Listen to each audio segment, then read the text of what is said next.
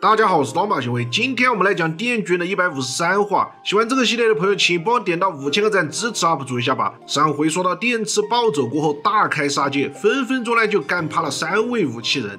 现场的画面啊可以说是非常惨烈，简单收拾一下呢就可以做成牛杂火锅了。经过了之前电锯人战争事件的发酵，电刺的战斗能力和生存耐性啊，好像都得到了巨大的提升。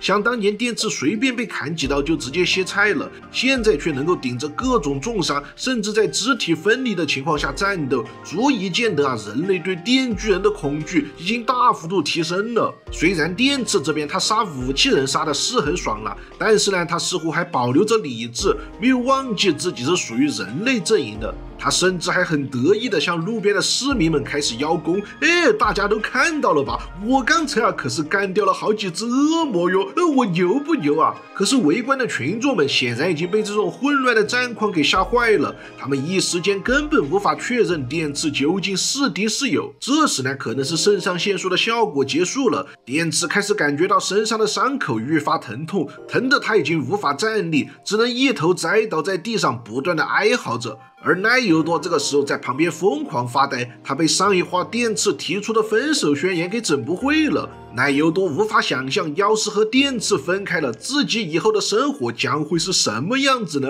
呃，可是好死不死的，这时候不知从哪里啊冒出来了一大群手持简易兵器的人。哇，真是讽刺！在颁布了上百年禁刀令的日本，居然有这么多人手持着长矛，像是捕猎一样把电刺团团给围住。那你们是退化成原始人了吗？电刺自己也是傻眼了。诶，我不是杀死了恶魔，维护了世界和平吗？那怎么我还成了被狩猎的对象了？我回头一看，耶嘿，老哥，怎么又是你啊？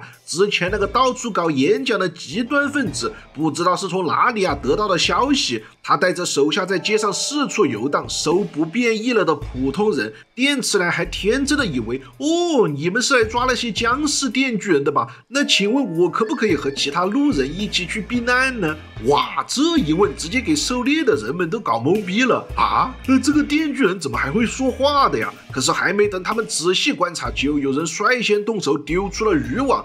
离谱的是，全身布满了锋利锯齿的电刺，居然就这样被束缚的动弹不得了！你他妈的这破渔网，该不会是海楼石做的吧？电刺不解的质问拿枪的民众：“呃我可是好人哎，你们想对我干什么呀？”山川妹妹也是出来解释，电刺对人类是没有威胁的。呃，你到底有没有作用的？那打架你也不行，那公安的身份也跟摆设一样。那章鱼哥让你保护电刺，你到底保护了个寂寞呀？收狩猎团的人听完也是迟疑了一下，开始征询另一位路人的意见。这位阿玛是之前打架的时候一直在护着奈油多的，可是他并不了解电池的身世，只能做出一个相对保守的结论。呃，他们刚才有好几个恶魔在互相厮杀呀，呃，我没办法分清到底谁是好人。而电池还在极力为自己做辩护。喂喂喂喂喂，你们搞清楚啊，我可是人类大爷们的好伙伴哦。呃，可是没想到的是，电刺如此奴性的发言，换来的居然是人类无情的攻击。一个民众拿起枪狂插电刺，还不断的说道：“ 呃，都是你的同类害的，把我的家人都给吃掉了。”哦，又是阿树最喜欢的社会矛盾环节了。更为不妙的是啊，有人拿来了汽油，准备把电刺给烧了。一时间，现场乱作一团，有人在疯狂攻击电刺，有人呢在寻找打火机。奶油多急得和众人解释道：“呃电刺可是真正的电锯人啊，你们不要乱来。”可是，在场的人早都已经杀红了眼，复仇心切的他们甚至开始没有依据的幻想：只要杀掉了这个电锯人的本尊啊，那些变成了僵尸的家人们就都能够复原了。这种想当然的说法，是在失去理智的时候，很容易使人变得固执了。和路人发生争执的奈友多毕竟是个体弱的小孩，最终他被一巴掌推倒在了地上。电刺看到自己的妹妹被欺负了，终于是忍不住啊，撕破了渔网，朝着那个动手的路人挥了一刀。而这一刀虽然只有浅浅的擦伤啊，但是在众人的心目中，这显然是已经成为了电刺释放敌意的信号。如今他已经彻底被扣上了人类敌人的帽子啊！眼看自己要被打火机引燃了。电刺情急之下，一刀斩断了路人的手臂。可是下一秒，大家就群起而攻之，电次又被死死的按在了地上摩擦。呃，我真的是服了，电次你不是有个拉链可以仰卧起坐的吗？呃，反正就是为了让剧情愈演愈烈，所以强行不用的是吧？然后现场的人又开始到处找打火机，该不会这个世界里的打火机都被刀哥咬了，属于是稀有物品吧？结果这群猪逼回头一看，哦，我们一开始不就是在火灾现场吗？我们直接从火堆里面弄一点火过来不就行了？Really？这时，那个好心的阿妈抱起奈油多准备离开。现场这么的混乱，对于小孩子来说啊，实在是太危险了。